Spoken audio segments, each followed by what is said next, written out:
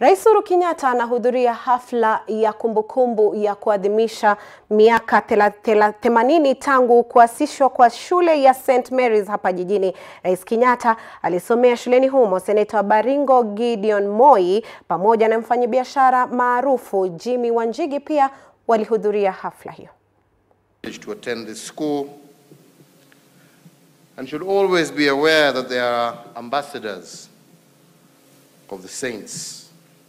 Your words and actions, whether in school or outside it, must at all time reflect the principles and the values of this institution. We repeat our motto again, goodness, discipline, and knowledge. And these are values that you must hold, even when you're not in the school precincts, and even when you're not in uniform, and even when you have left the institution and become and joined us in the alumni. Who you are while you are here will have a very strong bearing on who you will be for the rest of your life the practices and traits mm-hmm. that you develop from a young age will define what sort of adult that you will be. It is indeed my hope that you will be eager to learn, that you will work hard, that you will be honest, you will be dutiful, you will be respectful, but most importantly, you will be God-fearing. And I can assure you that success and honor will be your portion for all the rest of your days. Let your behavior and mannerisms, speech and attitude be that which strictly bring honor to God, your family, your school, and your country. By your words and actions, all should be able to tell that you are a product of St. Mary's, and they should inspire for their sons and daughters to speak and behave as you do.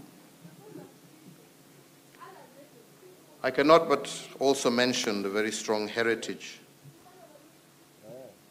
this school is also built on a very strong connection between church and school.